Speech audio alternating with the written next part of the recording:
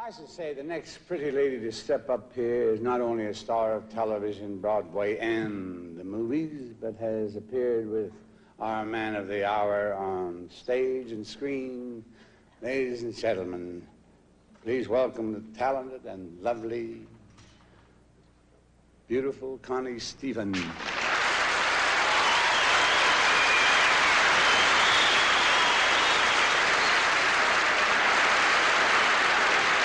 This is an exciting reunion for me, I'll tell you.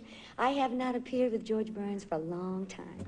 He and I co-starred in a television series, I hope you all remember. It was called Wendy and Me. You remember, do you remember? He doesn't remember. Well, it didn't last very long.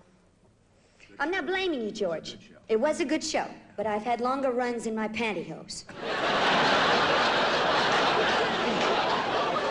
View of our past friendship, I was really surprised. When I arrived in Las Vegas last night, I found a beautiful bouquet of flowers in my hotel room. And a note from George Burns that said, Dear Connie, please join me for a swinging evening on the town. well, George, I hate to uh, kiss and tell, but uh, may I tell them what a swinging evening we really had? First, we went out to dinner. I picked him up right after his nap. It was then I discovered George's secret for staying young.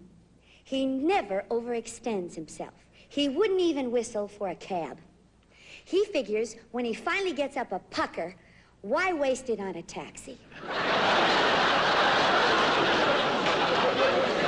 we were driving along, and all of a sudden, George leaned over and said, My leg's asleep. It's numb. I can't feel a thing. I said, George, please, relax. That's my knee you're holding.